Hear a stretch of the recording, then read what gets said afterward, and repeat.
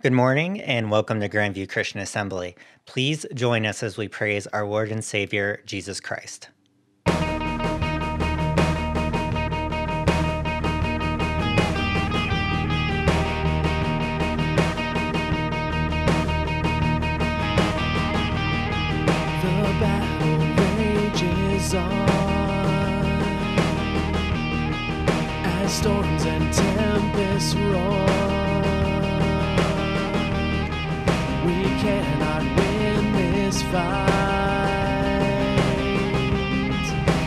inside our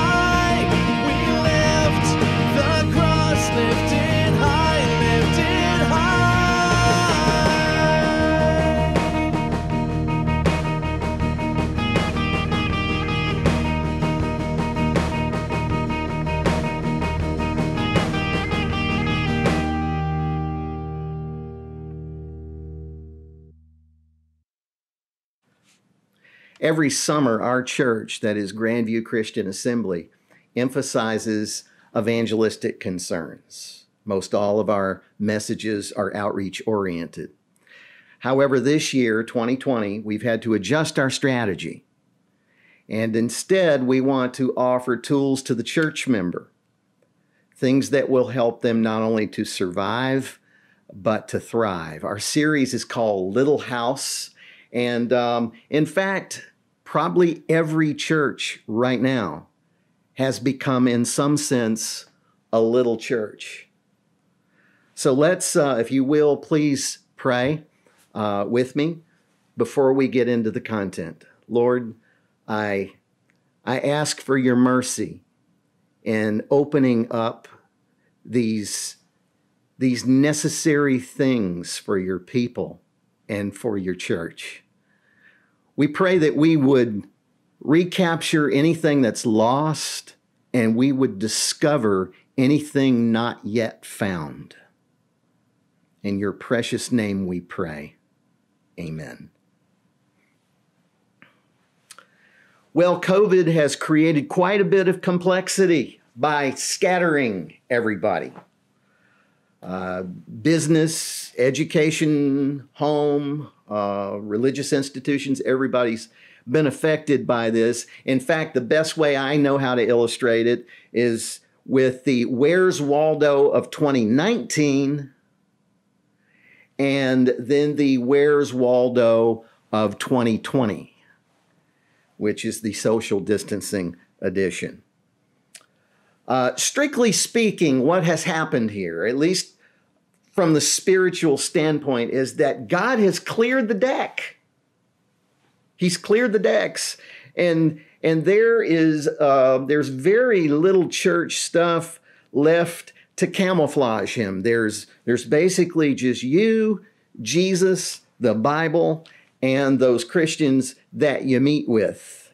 Gone are the pageants and the the, the various other things, the events, the programs, all this, all the way down to fig leaves, all gone. And you could say, wow, this is uh, this has been very hard on us. Well, in some respects, that's true.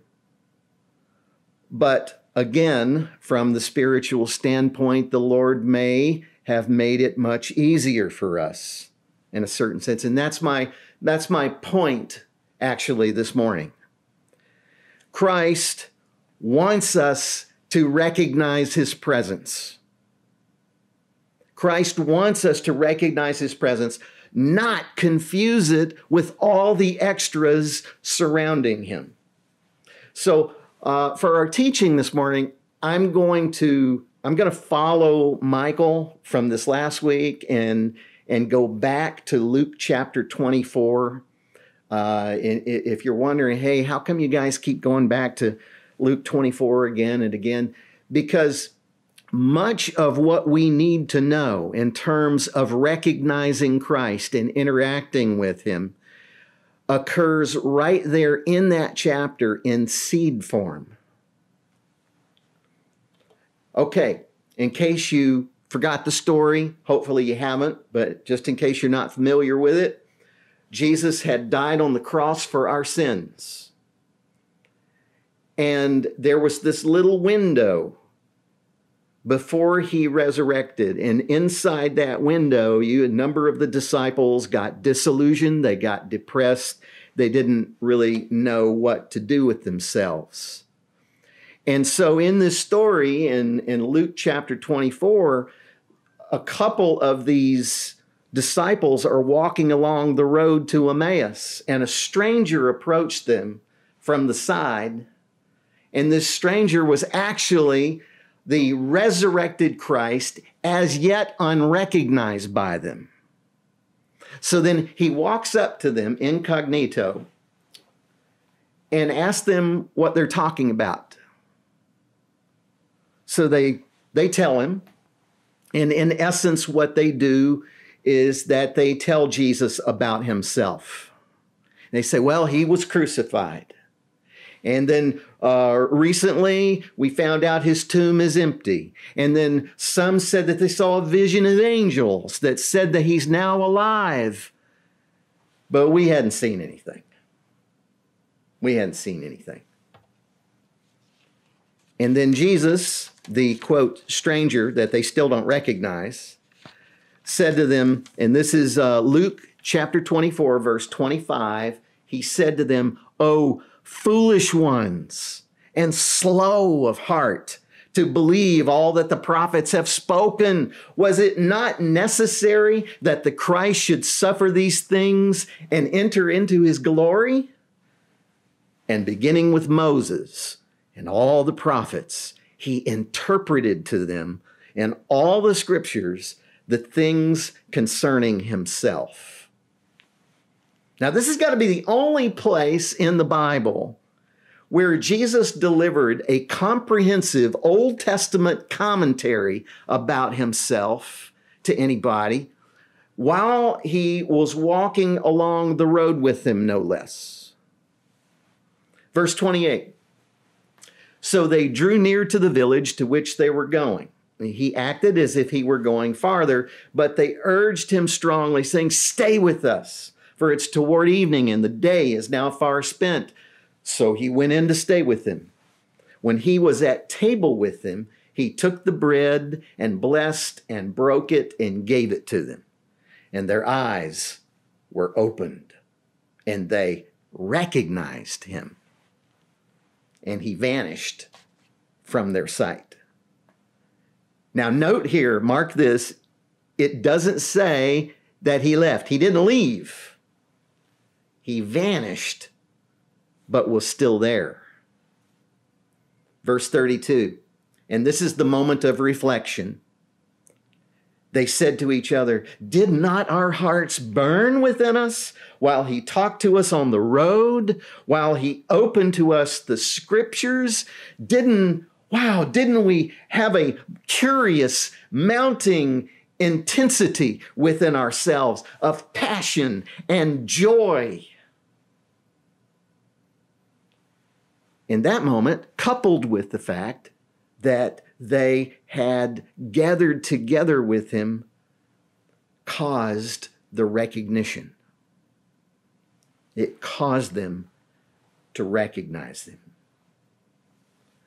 Now, I, I remember, personally, I remember the first time I strongly recognized the presence of Christ post salvation. You see, for about um, three weeks, I'd been living on low octane fuel. That is uh, private spirituality. I was semi isolated from other Christians. I was facing a lot of temptations uh, especially the kind um, very typical to a 21 year old single guy. I was beset with worries about my new faith. I wondered if my new faith was going to end up being a mile marker in my past that would remind me in years to come this is how you used to be back when you were active in Christian things. And, um, and even when it came to the church, my involvement with the church was mainly uh, one of, well, I just liked being around these people. I liked their positivity. I liked their spiritual energy. I liked the morale.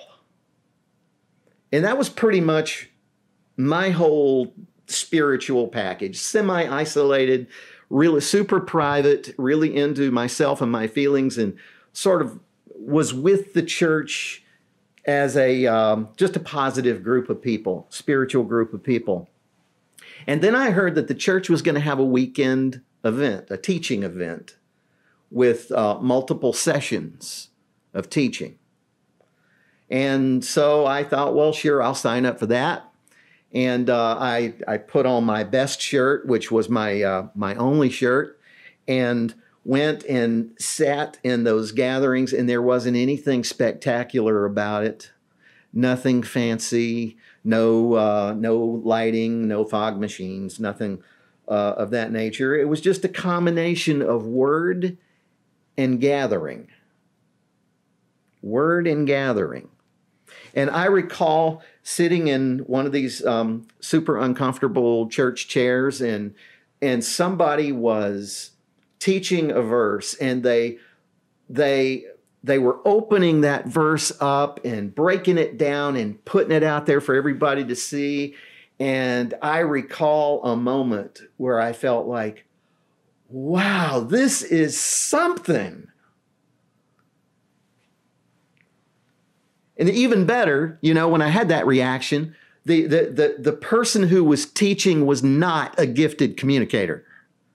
So all my kudos and all my wows was for the content and not for the speaker. And I, when I look back on that, I, I, I kind of see some similarities to those disciples on the road to Emmaus with their heart burning and then gathered into the meeting later on and then they're recognizing Christ. And that was my my first experience with a burning heart and a recognition of Christ. And I felt like that when the when the when the uh, the weekend was over and I went home I was a different guy than I had been when I first showed up there. And again it was no more special than word and gathering Word and meetings are vital to the Christian existence if we want to keep the resurrected Christ front and center and recognized. And these two things, meeting and word, are linked in ways that we hardly are even aware of. In fact, um, Outreach Magazine uh, did an article, I think it was last week, where they said that during the time of social distancing, Bible reading was down overall. And I, I, personally, I was shocked when I heard that. I thought, well, with social distancing, that mean you've that means you've got more room, you've got more time to read scripture. But what I, I failed to remember in the moment was that just like scripture reading fuels the church, the church fuels scripture reading. Proximity to one another is very important to us and it fosters spiritual hunger in ways that we're hardly even aware of. So, distance, and now, now I'm not just talking about social distance, I'm talking about life distance, can actually blunt our ability to receive spiritual things. It's, it's like when Jesus rebuked those disciples on the road in verse 25 and said, Oh, foolish ones, and slow, that is sluggish of heart to believe. They had somewhat become like syrup in their ability to react, to respond to precious things of God. In fact, they had already heard that Jesus resurrected from different people and then dismissed it. You, you could say that the good news did not affect them. I, I, I think that if these disciples in Luke 24 had been contemporary churchgoers, they probably would have said something like, "Well, you know, your your uh, your testimony. Uh, I didn't get much out of your testimony. This message didn't give me very much. I wasn't fed."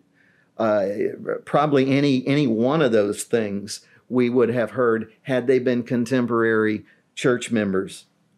Now you you may also point out, well, wait a minute, John. They at least they had a micro group. You know, in Luke 24, there was Jesus and at least those two other disciples, perhaps a few more that weren't mentioned in the account. And they're they're together and there's the word there. Shouldn't that work? Just any group with the word shouldn't that work out? I mean and and it does say that their hearts burned and jesus was speaking to him to them. Yet yet even with this group on the road and jesus opening the word even if the teacher himself is jesus christ and even with hearts burning they still didn't recognize him. It wasn't until, listen to this, it's not enough just to have word. It wasn't until they were in the house and they were sitting down and the distractions of the day had gone away and they'd put aside all their plans that they recognized him in the breaking of the bread. You see, while they were on the road, they were kind of on their way to do something else. We got, I'm thinking there's a plan. I need to somehow, we need to somehow get where we're going. Well, we need to show up at this location. We've got a destination. We got to find a place to stay. We got to make sure we get fed tonight. Now, all these things are probably going through their mind, at the back of their mind. They're doing something else. So they're semi distracted. Even though Jesus is with him and even though they are having a reaction to his word. But it was not until in the house, focused and settled, that they recognized him. Now, you know, the church overall has a tradition, and it has had a good tradition for thousands of years of sanctifying a day of the week.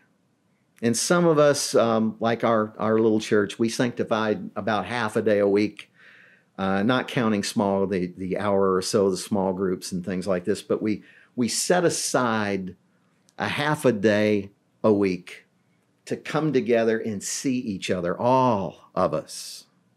And we would serve and we would interrupt our schedule and put God first. And we would, as much as we could, just clear our hearts and receive something. Well, just like with us, with all churches, this got interrupted for a while due to the uh, due to the pandemic. And this other thing came along, which I would call a blessing and a wonderful stopgap measure, and that is the digital format, which we're using right now. It's a blessing, and it's been very, very helpful. Uh, however, the digital format is not without its temptations.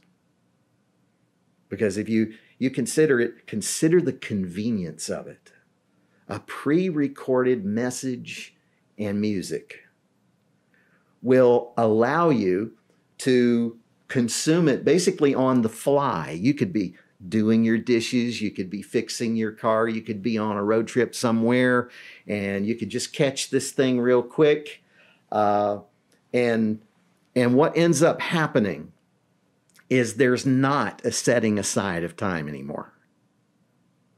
And so what used to be a sanctifying of a day for God ends up being um, an entire week for self. All seven days now can belong to hobbies, to projects, to events, to trips. It, it could just belong to those those other things. And listen, no good will come of that. We're warned in the Bible about this type of thing. No good will come of that. So, part of what we need to do is either capture or recapture a sanctified focus. When you talk about a gathering or a meeting, it's not just to consume content, it's a sanctified focus where I'm making a statement, I'm honoring God.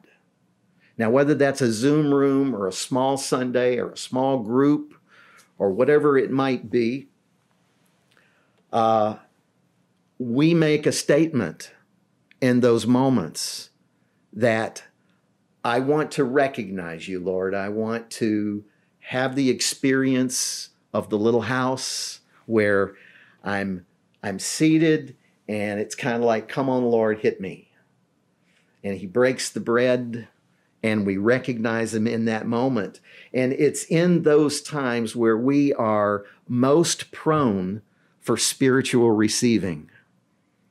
So remember, this is the dynamic that we're trying to recapture. It's not just that we're trying to get back to what we used to do, but we are hoping to preserve alive the thing that really counts we honor God by gathering in some kind of way, and we do it in a way that fosters spiritual hunger and receiving. You know, I went to a uh, went to a Wednesday night in person small group meeting this week. Uh, first one I have been to since the, the pandemic began, whenever that was. Now I've, I can't even remember what, March. And uh, Alicia and I were pretty jazzed. Uh, it was outdoors. It was a full size small group. It was outdoors. And people were practicing what was shared in the message um, last week about bringing your supply of Christ. And um, I, I felt like that just about every comment, every little sharing was a home run. In that moment, we had put everything aside. We'd made a trip somewhere. We'd interrupted our evening. Uh, it didn't involve laptops for a change. And I was able to really receive something from the people there. And I really felt like the Lord spoke and the Lord confirmed a couple of things. And I have to say, wow, my my heart burned after that. And for a change, it was spiritual and uh, and not reflux. But our our whole our whole experience that night was the Lord speaking in so many different ways. And we were were, were, were thoroughly helped by that. I know in my own house on, on Sunday morning, we try to do the same thing. We try to have, uh, we have a, a, a family over. Um, now we may add another family. And we are hoping not just to watch a video and then in a semi comatose way say, well, it was good to see you, and everybody goes about their business, but to somehow interact and see if we can recognize the Lord in our fellowship. I felt this way in some of our Zoom rooms. Okay, maybe not every Zoom room because sometimes I'm in a state uh, where I hadn't had like enough coffee at the end of the day or something like that, and I'm just uh, just kind of worn out.